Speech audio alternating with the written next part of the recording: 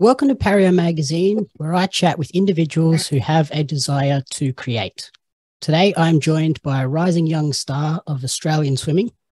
Welcome to Pario Magazine, Oliver Linde. Thanks for having me. So, we're here today to chat about your journey as a competitive swimmer. Before we dive into that, though, you want to introduce yourself and give our audience a little bit of a brief rundown on who Oliver is away from the pool? Yeah, all right. Um, my name's Oliver. I'm 15 years old from the Southern Highlands, just outside of Sydney. Uh, I've been swimming racing competitively since December last year. And yeah, that's it. Okay. And so you've been competitive since December last year. When did you sort of first begin to get into swimming and sort of look at it as something a bit more than just mucking around on the weekend? Yeah, well, I've sort, I've sort of been swimming forever, like just doing like squads, like all the way up until I suppose year seven, where I sort of took a break and then I found Cam.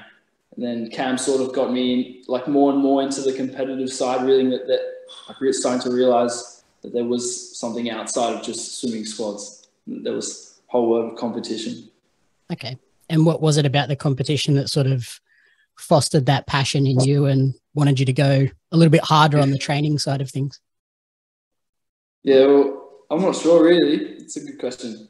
It's the, the competitive side of it, being able to race people, going fast, always trying to be the best. It's really, it's a good feeling when you like, when you get your hand on the wall first, see your name stop first on the scoreboard. Yeah, it's good. It's good feeling. So I would say that probably caused me to want to train harder, just setting new goals for myself in terms of making qualifying times or hitting PBs, stuff like that.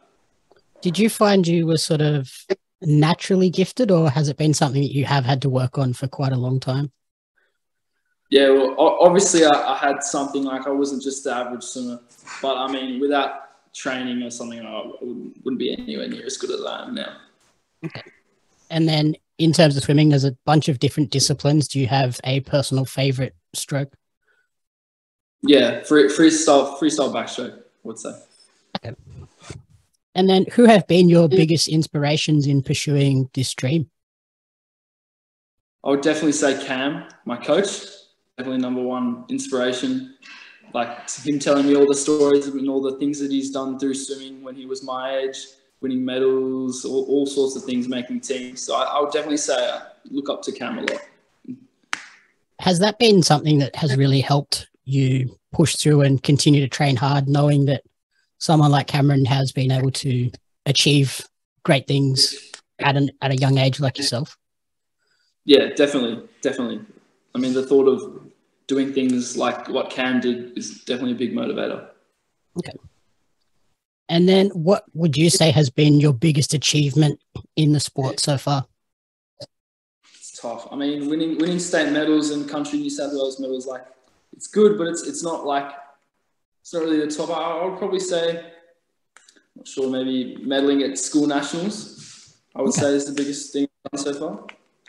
Is it one of those things where like each time it feels a little bit bigger, but you still have those bigger goals to achieve, so you don't feel fully fulfilled quite yet? Yeah, definitely.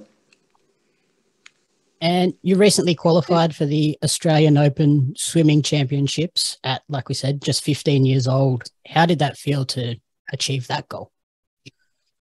Um, well, I mean, when I when I got the qualifying time, when I, when I was swimming the race, my goal wasn't really to to qualify for that. So when I saw I got the time, I was pretty stoked. It was a pretty good feeling being able to experience um, and race against some of the best swimmers in the country.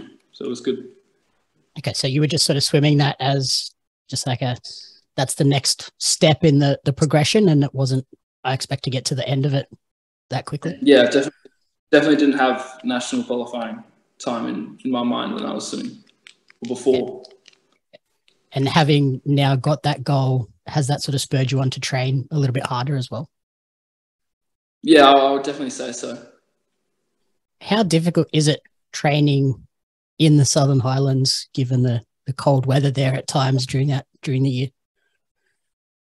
Yeah, it's, it's very difficult getting out of bed. Everything's really cold. Outside pool, yeah, it's, it's it's tough. But I mean, if you want to achieve the goals you set out for yourself, you have to, it has to be done, right? Mm-hmm. And I guess now that you are achieving some of those goals, that does make the the training a little bit easier each time to get up. Definitely, yeah. And over the years, I'm sure you've had a few sort of setbacks along the way. What would you say has been the biggest challenge that you've had to overcome? Um, I would say just after school nationals, I took about a four week break. It was finding it really hard to get back in the pool. Uh, yeah, I would definitely say that. Just getting the mo- finding the motivation again to get back in the pool and start training hard. Okay. And like we said, you're currently training under Cameron Reynolds, who has previously done an interview for Pario. How did you find Cameron and how did you then join forces with him? Yeah, well, I think my mum found him on Facebook through, I think it was a tri- local triathlon club and found mm-hmm. that he was a swim coach. So I think she messaged him. We went and met him at the Mittagong pool to sort of get to know him, get to see what he was all about. And then sort of went from there, started doing training sessions at Bowral uh, and then our relationship slowly built up. He slowly started to build up CR Swim um, brand. And yeah, it sort of just went from there. Were you sort of interest, instantly connected and wanting to train under him, or did it take a little, a couple of sessions before you were like, okay, yes, this is the guy that I need to be with? Yeah, I would definitely say it was, it was sort of instant. I, I remember the, fir- the first time I met him, he gave me some tips and my swimming just felt instantly better. Okay. So would they would those tips be the thing that you think would be the biggest assist that Cameron has given you, or has it been a few other things along the way as well? Yeah, well, I mean, just uh, helping me get back in the pool, helping me re-motivate, find new goals, new things to strive for, definitely would be another thing that he's helped me with. And I guess, like we said, having that prior knowledge of what he's achieved makes it a little bit more attainable as well. Yeah, definitely. So, in terms of swimming, what would be your ultimate goal? Are you looking to sort of go to the Commonwealth Games or the Olympics? Yeah, I definitely think making an Australian team, whether it be a junior or senior one, would be my end goal in swimming. Okay, brilliant. Whether it be for six Commonwealth Games. And then finally, where is the best place for people to support you and track this journey moving forward? If you're a swimmer, you could definitely check out Meet Mobile.